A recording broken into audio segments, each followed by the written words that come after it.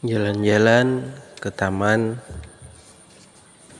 Ketemu dengan bunga kertas. Sangat bagus warnanya pink. Dan ada juga ini bunga-bunga kecil. Nggak sengaja kita ketemu biawak yang sedang berenang di kolam. Ini kalian lihat ada anak biawak.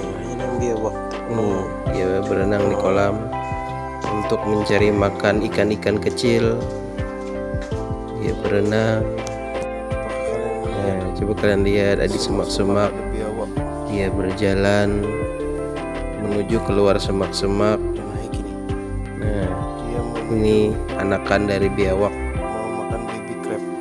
Dia berjalan akhirnya kita dapat melihat secara langsung biawak di alam. Ini tandanya alam masih bersih. Biawak dapat berkembang biak. Nah coba kalian lihat. Dan nggak sengaja juga saya bertemu dengan indukan biawaknya. Coba kalian lihat. Ini indukannya sangat besar begitu besar indukan biawak ini wow kalian lihat ini mungkin hampir semeter lebih panjangnya.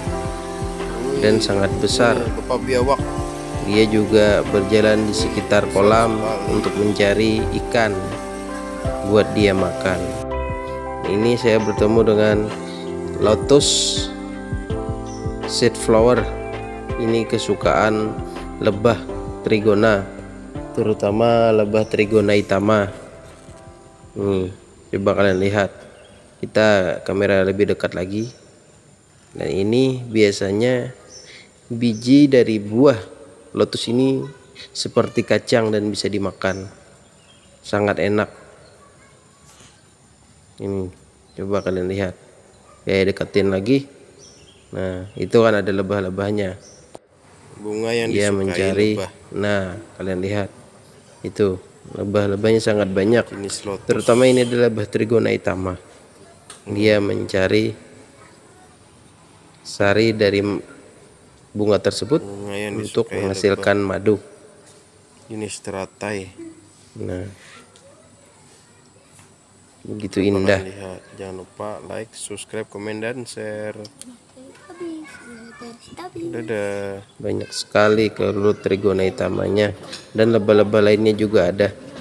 Lebah epis juga ada di sini. Dia mencari sebuk sari yang ada di bunga untuk menghasilkan madu. Nah itu. Itu seperti kacang polong. Sangat enak. Biji buah lotus ini sangat enak biasanya mahal ini kalau dijual. Ini sampai sini dulu ya dadah